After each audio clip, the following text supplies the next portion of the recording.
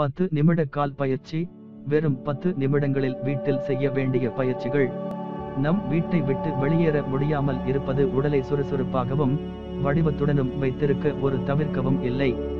இப்போது நேரமின்மை ஒரு காரணமல்ல என்றாலும் தனிமைப்படுத்துதல் உடற்பயிற்சி கூடங்களுக்கு இயந்திரங்கள் மற்றும் குழு வகுப்புகள் செய்யவோ அல்லது பூங்காவில் ஜாகிங் செல்லவோ முடியாமல் விளையாட்டு நடைமுறைகளை மறந்துவிடலாம். நீங்கள் வீட்டிலிருந்து வேலை செய்தாலும் அல்லது குழந்தைகளுடன் வாழ்ந்தாலும் தினமும் காலையில் பத்து நிமிடங்கள் உடற்பயிற்சி செய்யவும் மற்றும் வடிவத்தில் இருக்கவும் முடியும். இதனால் ஜிம்மிற்கு செல்வது குறிப்பாக கடினமாக இருக்கும். கால்கள் வயிறு அல்லது பிட்டம் போன்ற நாம் சிறப்பு கவனம் செலுத்தும் உடலின் பாகங்களை உடற்பயிற்சி செய்ய அந்த நேரம் போதுமானது. உங்களுக்கு எந்த வகையான பொருட்களும் தேவையில்லை. எடைகள் அல்லது மீள் பட்டைகள் இல்லை. உங்கள் வீடு உங்கள் புதிய ஜிம்மாக இருக்கும். தொடங்குவதற்கு முன் ஒரு வெப்பமயமாதல் கட்டம் அவசியம். முழங்கால்களை குளூட்டுகளுக்கு கொண்டு வருதல் அவற்றை மார்புக்கு உயர்த்துவது கைகளை மேலேயும் கீழேயும் நகர்த்தும் போதும் மற்றும் முழங்கால்களை சுழற்றுவதற்காகவும் இயங்குவது விரைவான மற்றும் பயனுள்ள வழியாகும். சூடு மற்றும் காயம் தடுக்க சூடாக ஒரு நிமிடம் எடுத்துக் கொள்ளுங்கள் பத்து நிமிட பயிற்சியை முடிக்க நீங்கள் தொடர்ச்சியாக இரண்டு முறை செய்ய வேண்டிய ஏழு பயிற்சிகளின் அட்டவணை இங்கே. பயிற்சிகள் ஒன்று மற்றும் இரண்டு ஜம்பிங் ஜாக்கள் மற்றும் முன் உதை. காலம் ஒவ்வொரு உடற்பயிற்சிக்கும் முப்பது வினாடிகள். தொடங்க ஒரு சிறிய கார்டியோ. முதல் உடற்பயிற்சி செய்ய கொதிக்கும் போது உங்கள் கால்களையும் கைகளையும் ஒரே நேரத்தில் திறக்க வேண்டும். உங்கள் கால்களை தரையில் தரையில் வைக்காமல் கவனமாக இருங்கள். உங்கள் உடம்பில் உள்ள அனைத்து தசைகளையும் சூடாக்க மற்றும் வேலை செய்ய இது ஒரு சிறந்த வழியாகும்.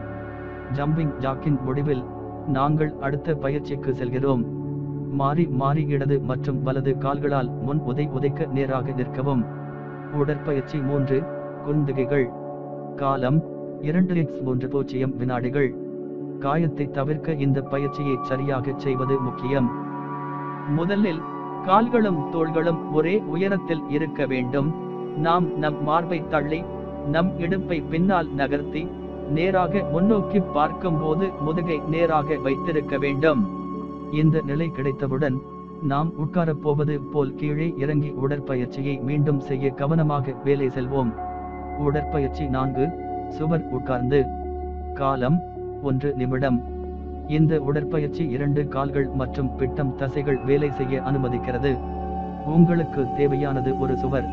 அதை சரியாக செய்ய உங்கள் முதுகை கதவு அல்லது சுவரில் வைக்க வேண்டும். உங்கள் முழங்கால்களை வளைத்து முழங்கால்கள் தொண்ணூறு டிகிரி கோணத்தை உருவாக்கும். இந்த தோரணை ஒரு நிமிடம் இருக்க வேண்டும். உடற்பயிற்சி ஐந்து நுரையீரல் காலம் முப்பது வினாடிகள்.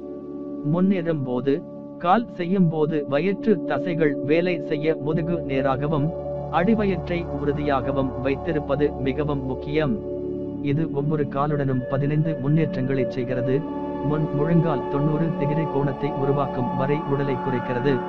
உடற்பயிற்சி ஆறு நாற்காலி. காலம் இருபது மறுபடியும் முப்பது வினாடிகள். இந்த பயிற்சிக்கு பெயர் குறிப்பிடுவது போல உங்களுக்கு ஒரு நாற்காலி தேவைப்படும். நீங்கள் உங்கள் முதுகை வைத்து அதன் பக்கங்களில் உங்கள் கைகளை வைக்க வேண்டும். நீங்கள் நிலையை ஏற்றுக்கொண்டவுடன் உங்கள் கைகளால் சக்தியை மட்டுமே பயன்படுத்தி குறைக்கவும். உடற்பயிற்சி ஏழு பலகை. காலம் ஒன்று நிமிடம். இந்த பயிற்சி எளிமையானது ஆனால் அதே நேரத்தில் கடினமானது மற்றும் பயனுள்ளது.